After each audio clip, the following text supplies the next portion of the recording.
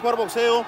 El equipo de entrenadores de Jaime Munguía no necesitan presentación y les quiero rogar me den su análisis de esta noche de pesos pesados. Qué noche tan maravillosa, señores, ¿no? Así, así es, fue una noche pues, bastante divertida, una pelea muy buena para todos y ojalá que hagan la revancha. ¿Su opinión, amigo?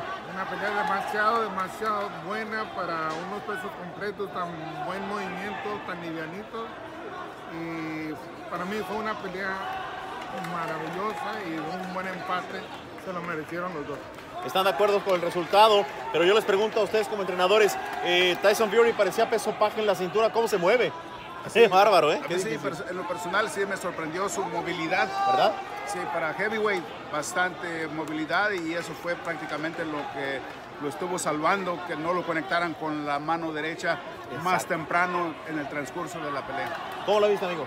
Un bonito jab y un, y un cruzado de derecha bastante rápido. Para un peso completo no se espera mirar esa rapidez.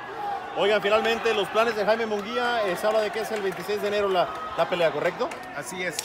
Uh, no tenemos la, el lugar uh, definido todavía, pero estamos en espera de ello. Y, pero ya estamos trabajando a un 100%. ¿Qué significa el cariño de la gente? Es increíble lo que quieren al chamaco. Jaime lo, lo adoran. Lo, lo, aprecia bastante la gente y llama mucho la atención por su humildad. Es un chamaco muy agradable su forma de tratar a la gente. Finalmente, ¿qué les deja este 2018 en lo boxístico?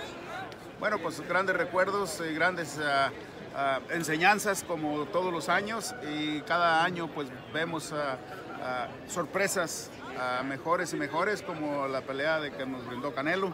Sí, muy buena pelea. Entonces ojalá y que el próximo año pues sea mejor y que podamos seguir mirando peleas a ese nivel. ¿Qué te deja el 2018, amigo? Pues una muy bonita experiencia con Jaime y aparte de que unas peleas muy interesantes en el año, pero más, más, Jaime Munguía dio mucho que hablar en este año.